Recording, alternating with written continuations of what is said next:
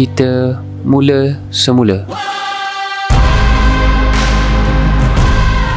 100 tahun bukan pengakhiran. Sebaliknya, permulaan.